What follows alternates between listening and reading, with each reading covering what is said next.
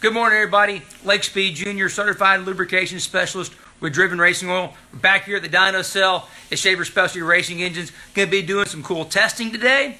So, want to do a little shout out here, real quick.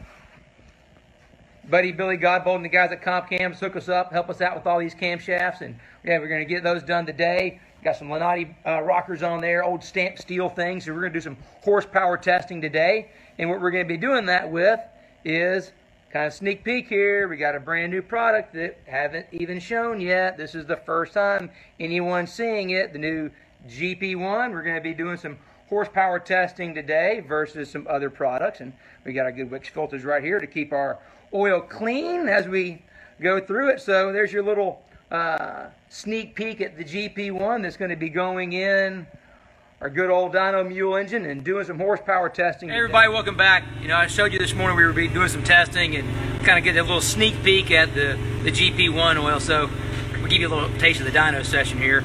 So, let's flip it around. Good old Superflow dyno here.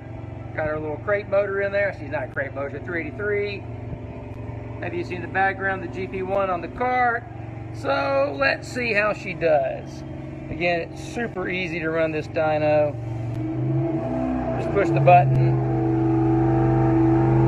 initiate. There she goes. Running right away. Woo! Now let's see what we got. All right, so the red line right up here, that is GP1. And those other lines are the other oils that are not GP1. So you get right up here, that's clearly a horsepower advantage. So, just something to think about. Good old GP1 doing its job. Great horsepower results so far.